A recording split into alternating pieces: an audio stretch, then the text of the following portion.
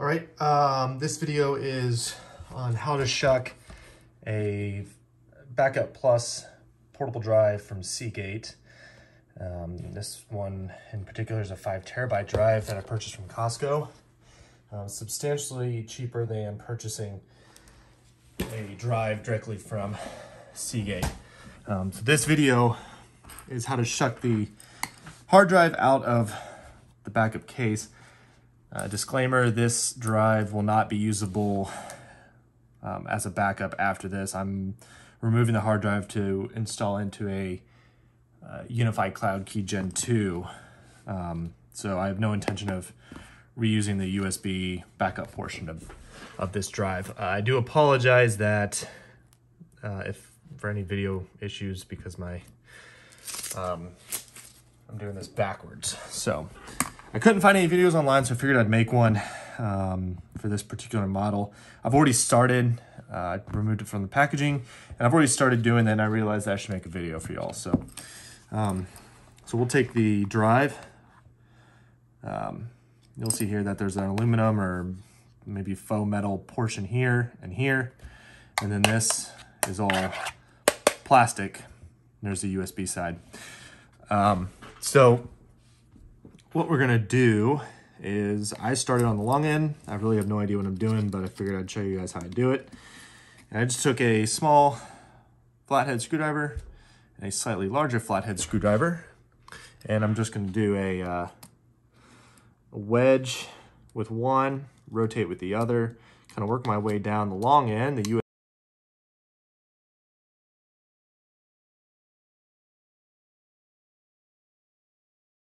another slightly larger flathead out of my toolkit. And we're just gonna go back the same way, twisting, twisting with a slightly larger flathead until we get around the entire end.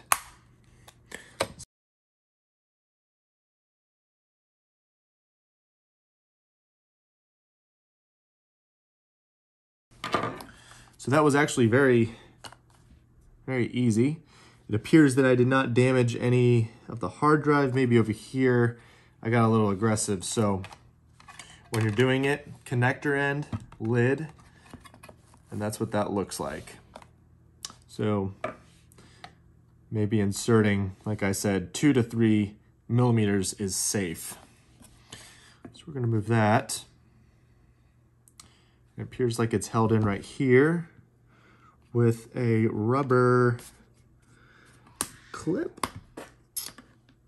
So that looks like damage to the plastic case is acceptable for me. I'm trying to limit damage to the hard drive. So it looks like maybe inserting a screwdriver all the way down and slowly lifting up might be okay. I'm kind of risking my hard drive for your guys' knowledge. So, so all I did was insert straight down and slowly pull up or wedge away from the drive while kind of pulling up as it came. And that did not sound good. That sounded terrible. So.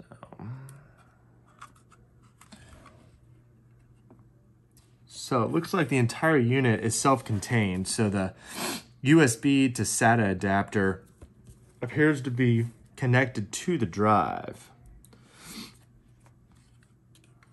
As you see, there's nothing left inside here.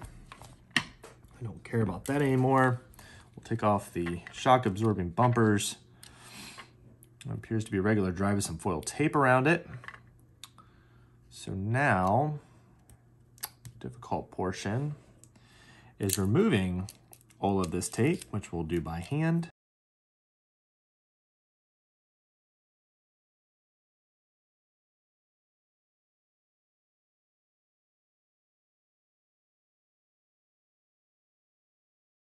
So it looks like after you poured the foil off, they've covered all the uh, uh, circuit boards with some sort of plastic wax paper, then foiled it. So as you peel it off, it appears it's relatively safe and secure in here.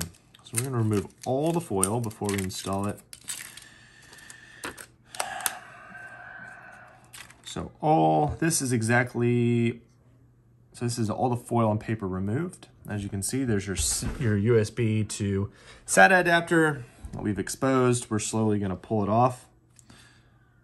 Looks like there's no screws on there. So uh, we'll just do this, pull it off.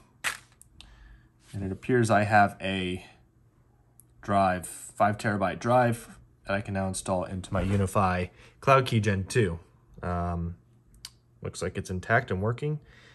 Um, obviously, if this video is posted, that means the drive was sh successfully shucked and is functioning. So thanks for watching. Hope it helps.